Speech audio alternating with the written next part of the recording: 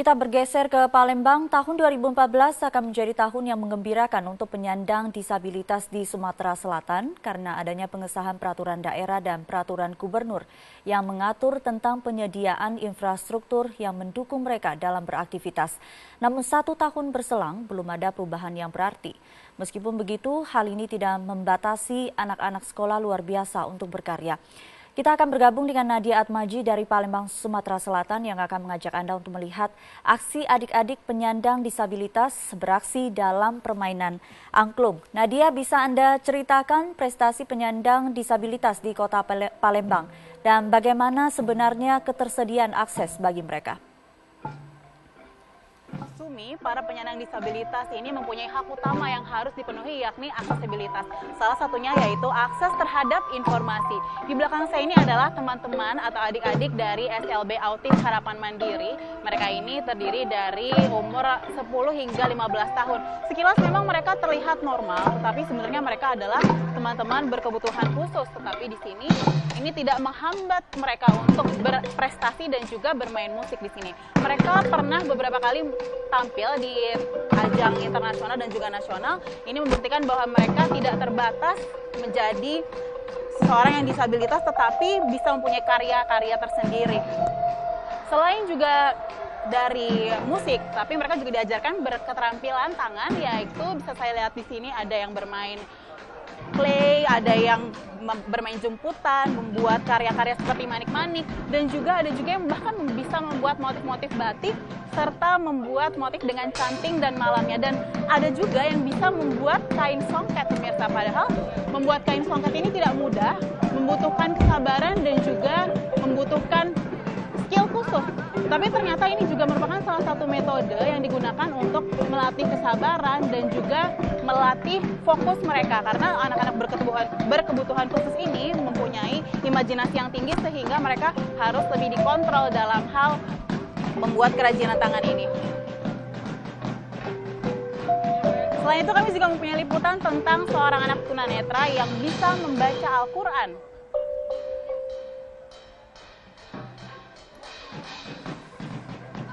Mereka ini mempunyai metode untuk mengajarkan Al-Quran menggunakan Al-Quran Braille. Ada metode yang diajarkan yakni menggunakan Al-Quran khusus jadi tiap satu juz ini mempunyai satu buku. Dan tidak mudah tentunya untuk mengajarkannya.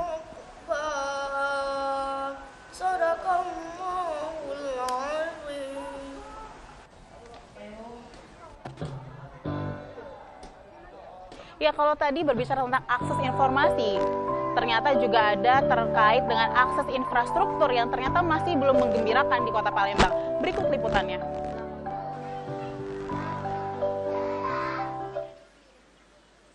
Peraturan daerah tentang perlindungan dan pelayanan kesejahteraan sosial bagi penyandang disabilitas disahkan di Sumatera Selatan pada tahun 2014.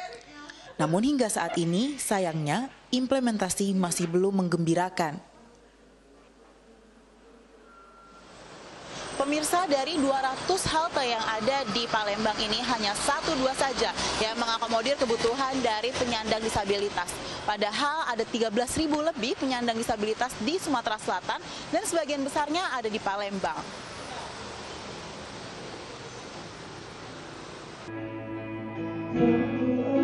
Tujuan perda ini adalah peningkatan kesejahteraan kaum disabilitas agar lebih mandiri dan tidak terhalang dalam memenuhi kebutuhan serta tidak bergantung pada orang lain.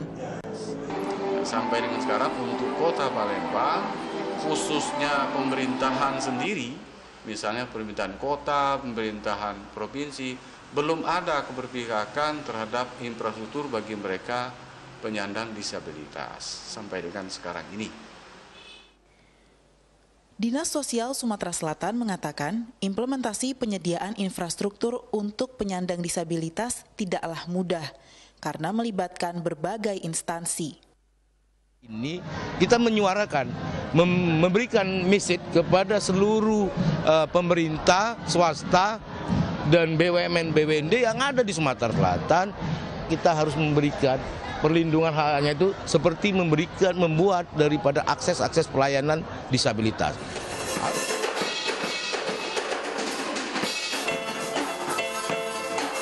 Selain akses pada pelayanan publik, peraturan daerah juga menjamin tidak adanya diskriminasi dalam lingkungan kerja pada penyandang disabilitas.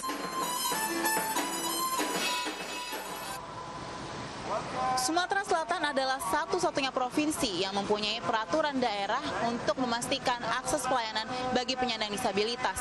Bahkan pelanggarnya akan dikenakan sanksi administrasi berupa teguran dan juga denda. Namun apalah arti dari peraturan tanpa eksekusi? Dari Palembang, Sumatera Selatan, Nadia Atmaji, Rani Tarulia, Metro TV.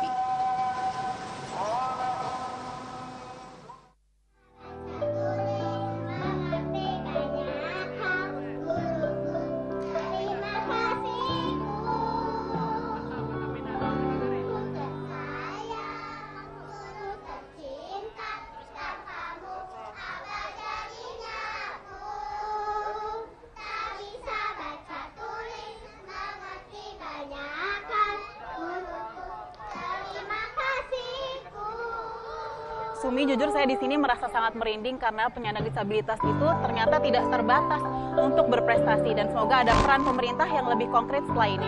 Sementara demikian Sumi kembali ke studio. Baik, terima kasih dan Nadia Atmaji untuk informasinya dari Palembang, Sumatera Selatan.